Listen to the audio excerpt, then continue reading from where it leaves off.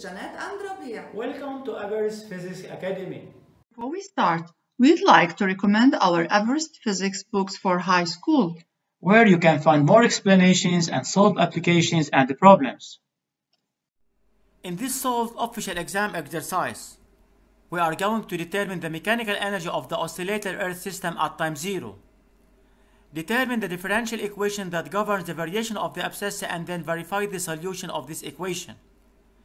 Calculate the values of the natural angular frequency, natural period, initial phase angle, and the amplitude. Determine the variation in the mechanical energy of the system between T0 and T1. Calculate the average value of the friction force between T0 and T1. And calculate the average power of driving the oscillations between T0 and T1. On a table, we consider a block A of mass 200 grams fixed to one end to a massless spring of force constant 80 newtons per meter. The other end of the spring is attached to a fixed support C. Look at the figure. A slides on a horizontal rail and its center of mass G can move along a horizontal x-axis. At equilibrium, G coincides with the origin O of the x-axis. At an instant t, the abscissa of G is x and its velocity is vi, where v is equal to x prime, which is equal to dx by dt. The horizontal plane containing G is taken as a gravitational potential energy reference. Let's uh, start with the free undamped oscillations. In this part, we neglect friction and at time zero, G is which is initially at O, which means that x0 is equal to 0, is launched with a velocity v0, which is equal to v0i, with v0 having a value of 2.5 meters per second. Let's start with number one. Determine the mechanical energy of the system A spring Earth at time zero. Generally, the mechanical energy is given by this expression.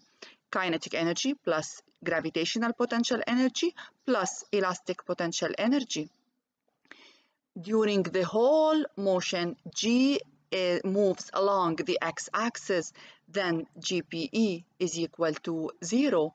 And at time 0, G coincides with the origin O of the x-axis, then the spring is not deformed, which means that EPE initially is equal to 0. So we still have the initial kinetic energy.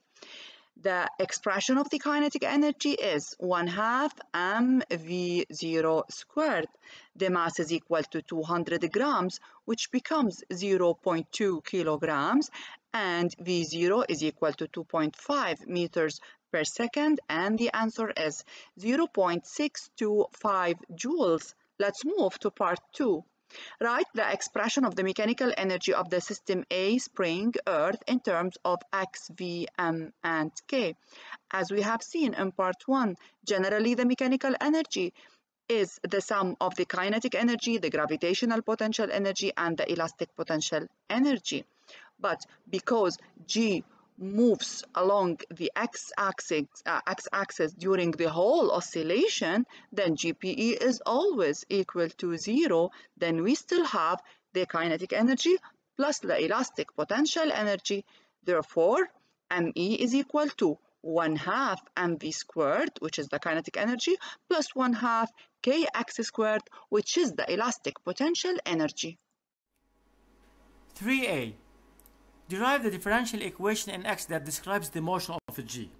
Since the friction is negligible, or the sum of the works done by the non-conservative forces is zero, then ME is conserved. But ME is equal to KE plus EPE, which is equal to 1 half mv squared plus 1 half kx squared. Now differentiate both sides with respect to time. me prime equal dme by dt is equal to 0 because me is equal to constant. The derivative of 1 half m v squared is equal to 1 half m into the derivative of v squared and the derivative of v squared is equal to 2v v prime. Similarly, the derivative of 1 half kx squared is equal to 1 half k times the derivative of x squared which is equal to 2x x prime. Now half times 2 is equal to 1 therefore 0 equal mv v prime plus kx x prime but x prime is equal to v and v prime is equal to x double prime. So take v as a common factor then v into mx double prime plus kx is equal to 0. We have two solutions. v equals 0 or mx double prime plus kx is equal to 0. But v equal to 0 is rejected because if v is equal to 0 we have no motion. So the acceptable solution is mx prime plus kx is equal to 0. Divide both sides by m then x prime plus k over mx is equal to 0 which is the second order differential equation in x that describes the motion of g. Let's move to part 3b. Deduce the value of the natural or proper angular frequency omega 0 and that of the natural or the proper period t0 of the oscillations. This is our differential equation. This differential equation is of the form x double prime plus omega 0 squared x is equal to 0.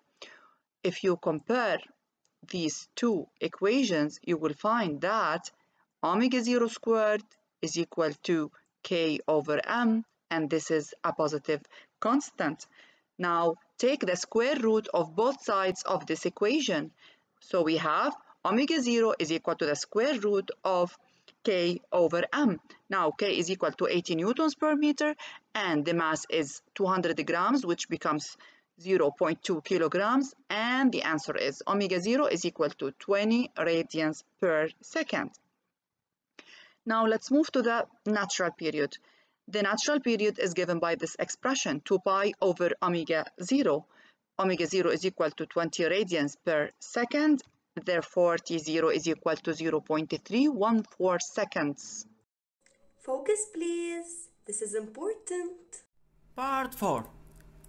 The solution of the previous differential equation is of the form x equal xm cosine omega 0 t plus phi. Determine the values of the constant xm and phi. To determine the values of these constants, we have to use the initial conditions so that at time 0, x is equal to x of 0 equal 0 and v of 0 is equal to 2.5 meters per second.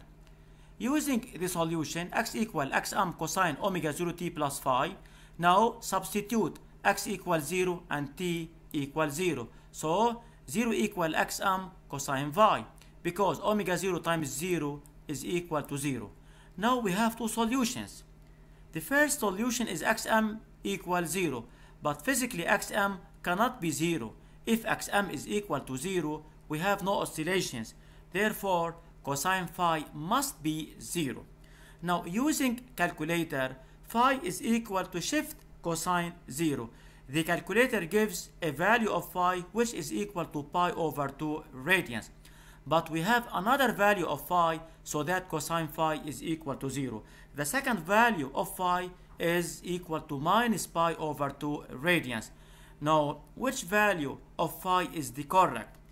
To know or to specify the correct value of phi, we have to use the second initial conditions so that v of 0 is equal to 2.5 meters per second.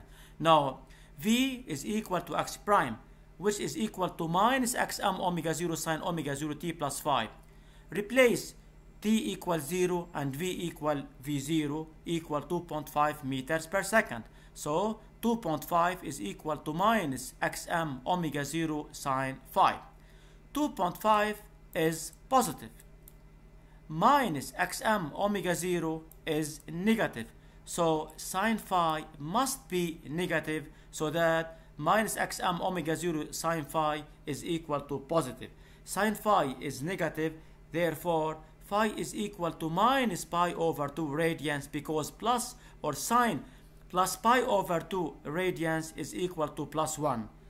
Now, using equation 1, 2.5 is equal to minus xm omega 0 sine phi. Now phi is equal to minus pi over 2. Therefore, xm is equal to 0.125 meters.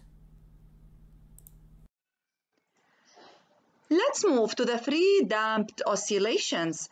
Buck A is submitted to friction force F of average magnitude FAV.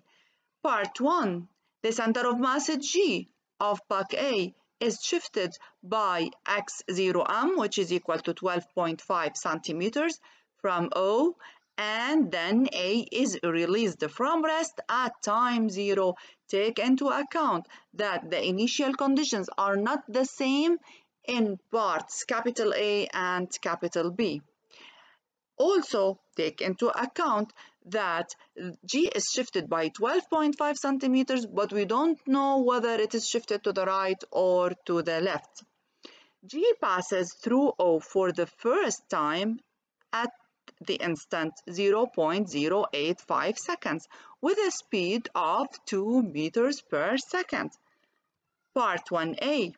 Determine the variation of the mechanical energy of the system A spring earth between the instants T0 and T1. Let's start with the initial mechanical energy. It is given by this expression, KE0 plus GPE0 plus EPE0.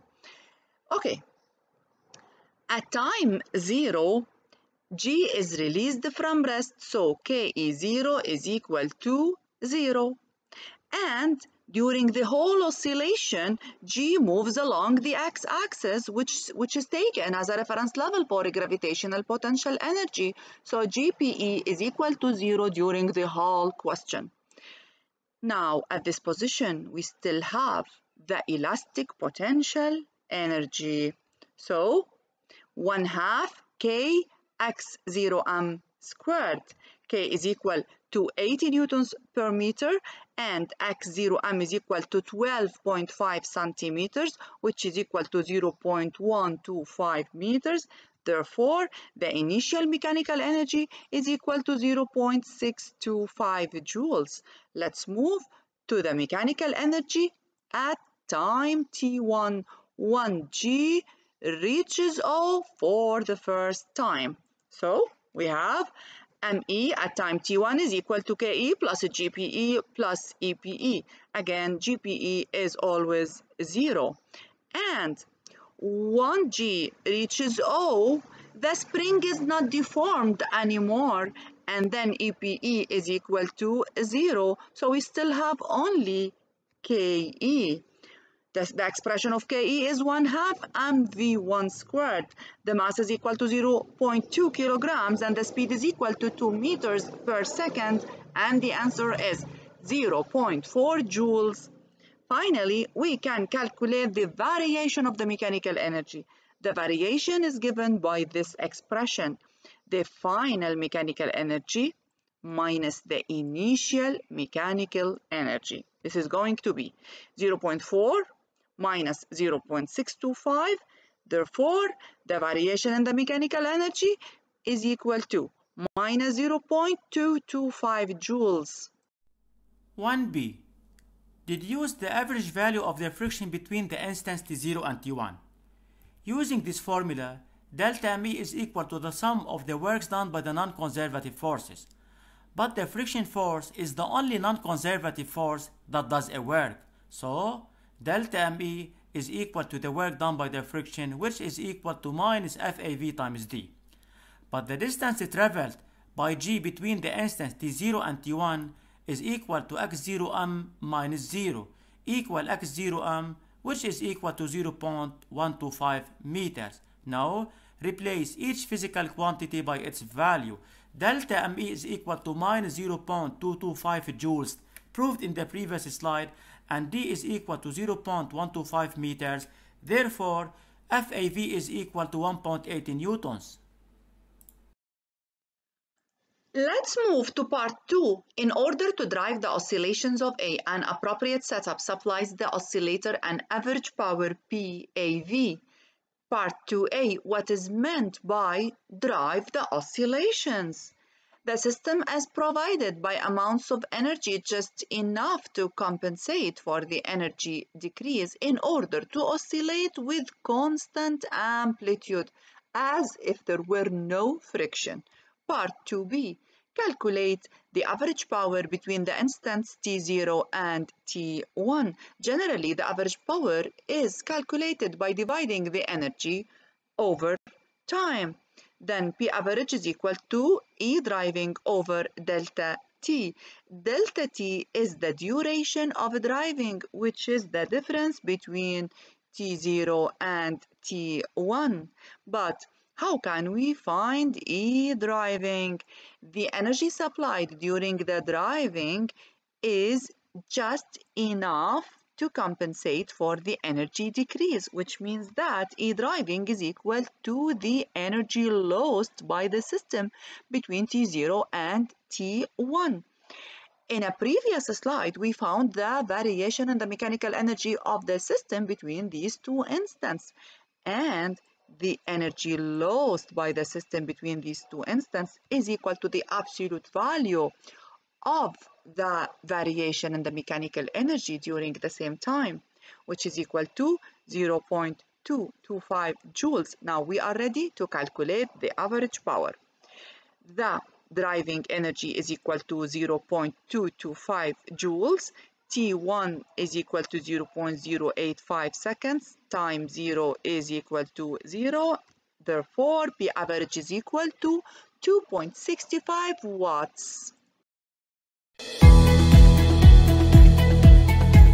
Thank you for watching.